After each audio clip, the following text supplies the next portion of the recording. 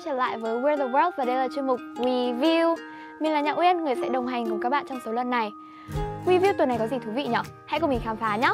Xin chào các bạn, mình tên là Phạm Mai Khanh, năm nay mình 10 tuổi, um, quê ở Thái Bình và hôm nay mình sẽ giới thiệu cho các bạn về sông Bến Đò quê hương mình. Chúng ta đi nào, chúng ta đi thôi, chúng ta đi đi Thường ngày thì mình và à, và các em thường đi uh, dạo và hóng gió. Giờ là chúng ta sẽ trên đường à, đi đến Bến Đò.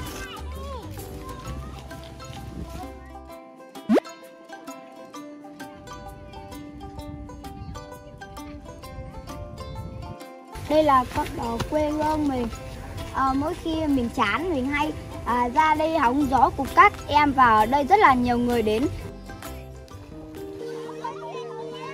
Ở đây thì người lớn và trẻ con cứ chiều đến lại ra sông tắm. Nhưng tất nhiên là trẻ em vẫn có người lớn đi kèm để đảm bảo an toàn. Như chúng mình thì có bố tụi mình nè. Hôm nay thì chúng mình không tắm chỉ ra sông để hóng gió thôi.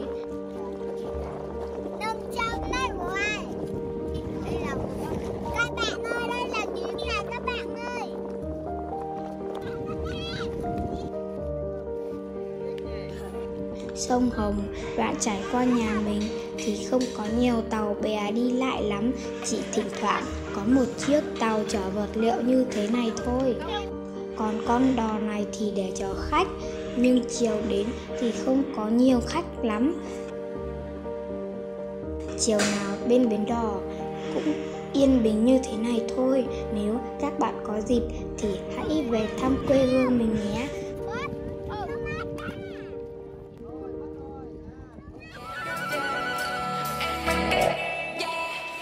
Em về quê đưa em ra đồng. Có đàn cò trắng bay chiếc lon lá có coi hồng. Ngâm thân mình giữa sông bắt con cá bao vô lòng. Xa thành thị phố đông tay không tay có tất tần vô em có lẽ hít một hơi thật sâu và thở ra một flow thật mượt. Ôi mình cảm giác mình đang ở quê luôn đó các bạn ạ.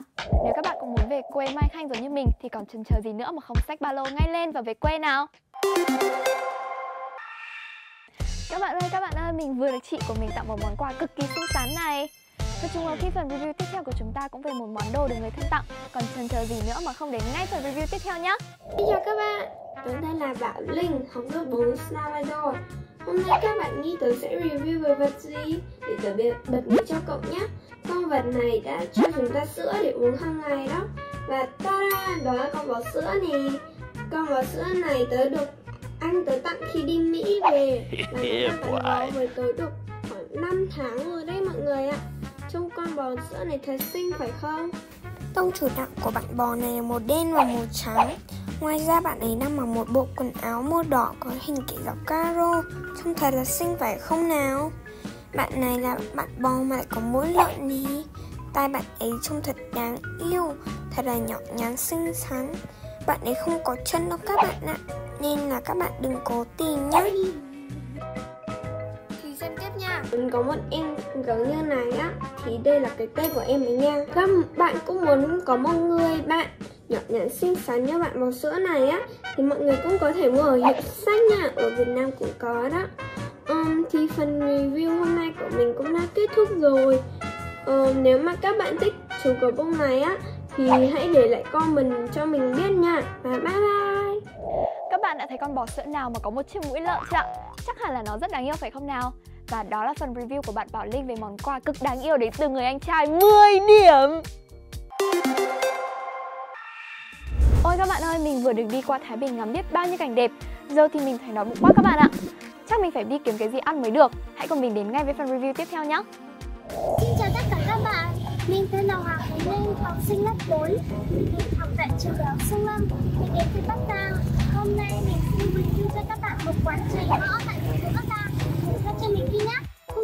qua chính là quán chè ngõ có địa điểm tại số 80 đường Ngô Gia Tự, thành phố Bắc Giang. Quán đã mở được 27 năm, đi qua nhiều thế hệ, quán vẫn rất đông khách và nhận được nhiều tình cảm từ thực khách. Ở đây bán đầy đủ các loại chè có thể kể đến như chè thập cẩm, xôi chè, chè bưởi, vân vân. Ngoài ra ở đây còn có cả bán bánh mì cay, rất thơm và nóng hổi các bạn ạ.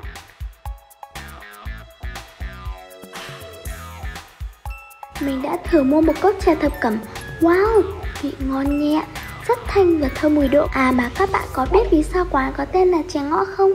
Vì quán nằm trong một con ngõ nhỏ Trên tường còn có rất nhiều chữ ký của các bạn học sinh đó các bạn ạ Nếu các bạn có dịp về quê Bắc Giang mình thì hãy ghé thăm quán nhé mình nghĩ đây sẽ là một địa điểm tuyệt vời để các bạn có thể thưởng thức quà ngon bổ rẻ. Bây giờ thì xin chào tất cả các bạn. Cảm ơn tất cả các bạn vì đã lắng nghe phần review của mình.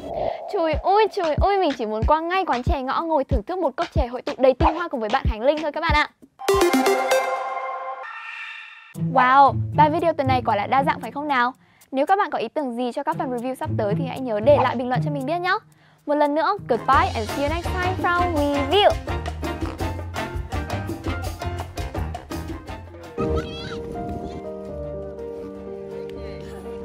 Sông Hồng đoạn trải qua nhà mình thì không có nhiều tàu bè đi lại lắm, chỉ thỉnh thoảng có một chiếc tàu chở vật liệu như thế này thôi. Còn con đòn này đã cho chúng ta sữa để uống hàng ngày đó. Và ta đó con bò sữa này Con bò sữa này tớ được ăn tớ tặng khi đi Mỹ về. Mình đã thử mua một cốc trà thập cẩm. Wow, vị ngon nhẹ rất thanh và thơm mùi đậu. À mà các bạn có biết vì sao quán có tên là chè ngõ không? Vì quán nằm trong một con ngõ nhỏ